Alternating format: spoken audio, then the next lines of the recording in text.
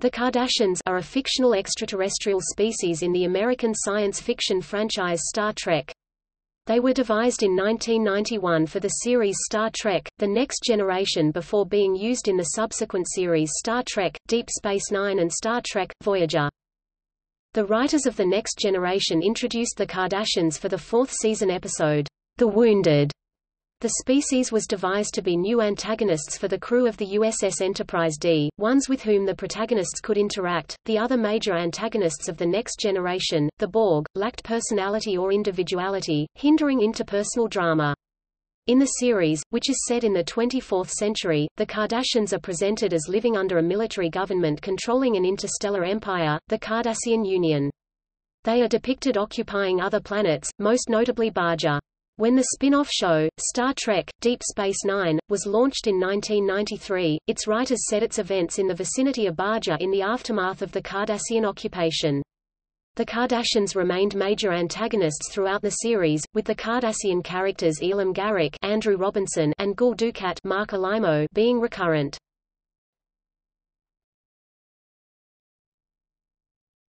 Topic: Concept history.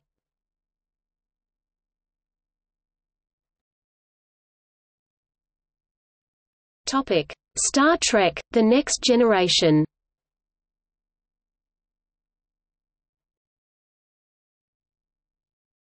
Topic: The Wounded. 1991. The Cardassians were invented by the writers of Star Trek: The Next Generation for the show's fourth season episode, The Wounded. The story was written by Stuart Charno, Sarah Charno, and Cy Chermak, while the teleplay was written by Jeri Taylor. The episode was first screened in January 1991.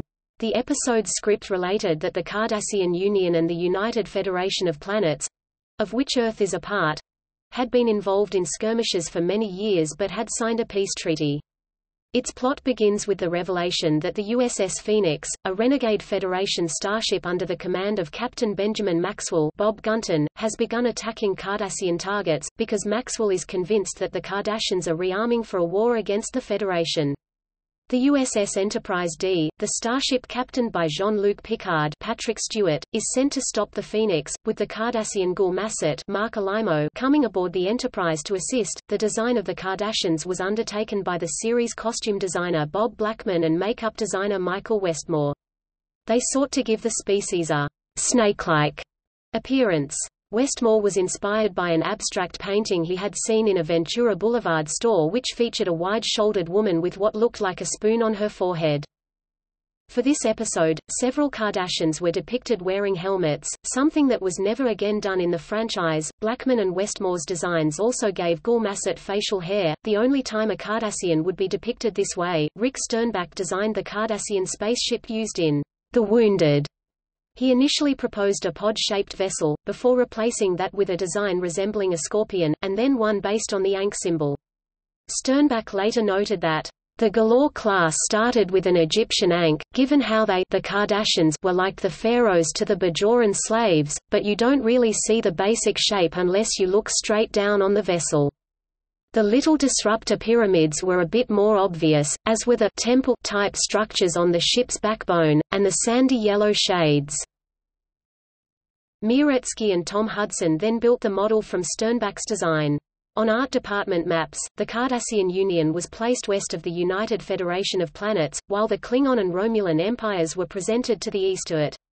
For this episode, the designers displayed Cardassian weapons firing a pink discharge, although in later episodes this would be changed to amber. Alaimo's appearance as Gul in The Wounded made him the second actor, after Mark Lenard, to have played three separate alien species in the Star Trek franchise. In earlier episodes he had portrayed an Antican, Lonely Among Us, and a Romulan, The Neutral Zone.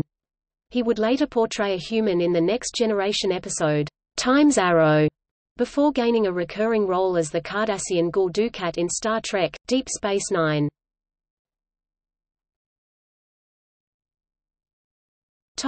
Later episodes, 1991 to 1994. In the fifth season episode, Ensign Ro, Written by Rick Berman and Michael Piller and first screened in October 1991, the Bajoran species were introduced. The script explained that the Cardassians annexed the Bajoran homeworld—called Bajor, 40 years previously, with many Bajorans fleeing their planet as refugees and often fighting back with militant tactics. Ensign Ro was the first episode in which the Cardassian warships were introduced as being Galor-class vessels. Although it had not been intended at the time, the situation between the Cardassians and Bajorans laid the groundwork for the plot of Star Trek, Deep Space Nine. The Cardassians were central to the two-part sixth-season episode, Chain of Command, written by Frank Abatemarco and screened in December 1992. In these episodes, the Federation have gained intelligence that the Cardassians are developing a genetically engineered virus on a deserted planet. Picard is sent on a mission to infiltrate and destroy the weapon but is apprehended and tortured by the Cardassian Gul Madred David Warner. Chain of Command Part 1 included the first mention that the Cardassians' homeworld was called Cardassia, and also included the first mention of the Cardassian Union as the name of their interstellar state, with previous mentions being of the Cardassian Empire. The script for Chain of Command Part 1 also introduced the news that the Cardassians had withdrawn from Bajor. This set the stage for the events of Star Trek, Deep Space Nine, which began airing a month later. The show's designers first included the Cardassians' hand weapon in this episode, with Sternbach describing its appearance as being like a copper-colored banana. The second part of Chain of Command provided a brief history of the Cardassians and their military government. The Cardassians also appeared in the sixth season episode, The Chase, Written by Joe Menosky and Ron D. Moore and screened in April 1993. In this episode, it is revealed that humans and Cardassians, as well as the Klingons and Romulans, are all descended from an ancient species that seeded many planets with life. In the seventh season episode, Journey's End, written by Ronald D. Moore, it is explained that the treaty between the Federation and the Cardassians left various Federation planets in Cardassian territory. Many of these Federation colonists refused to leave. The presence of these Federation colonists and their struggle for independence from Cardassian rule formed a recurring plot theme for both Deep Space Nine and Voyager. Journey's End was the first time that Cardassian communicators were featured, these were designed as affixed to the actors' wrists.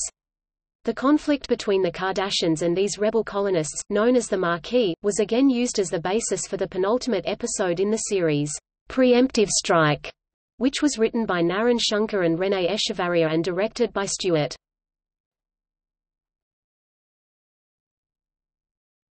Topic: Star Trek Deep Space 9.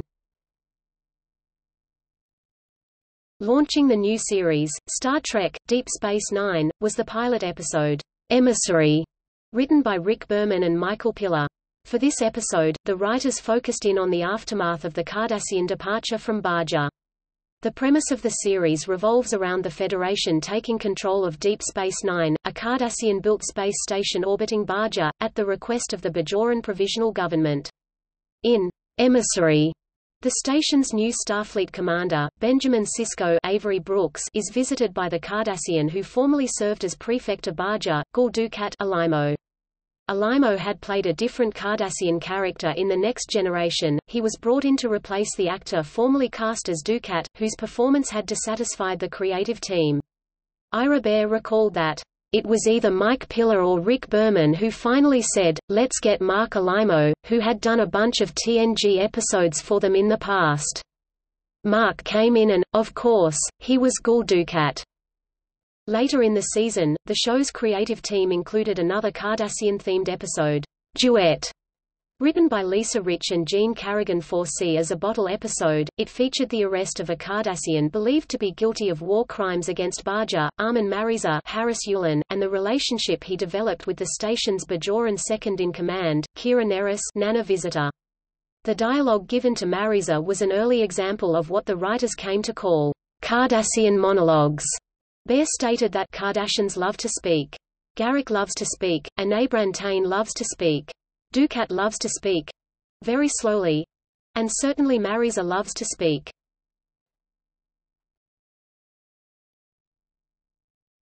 Topic. In cosmology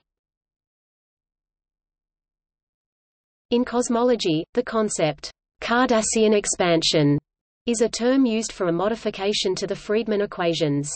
It is named after the fictional Star Trek race by the original authors, Katherine Freese and Matthew Lewis. In their 2002 paper which has been cited more than 330 times, a footnote on the Cardassian term states, too the name Cardassian refers to a humanoid race in Star Trek whose goal is to take over the universe, i.e., accelerated expansion. This race looks foreign to us and yet is made entirely of matter.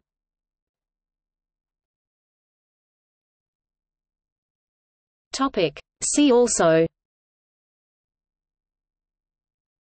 The Star Trek Encyclopedia